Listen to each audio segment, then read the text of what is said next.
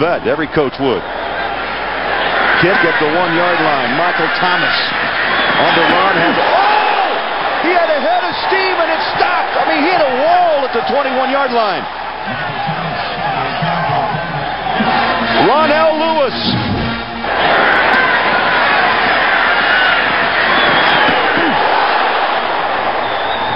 Oh, two big pops today in this one.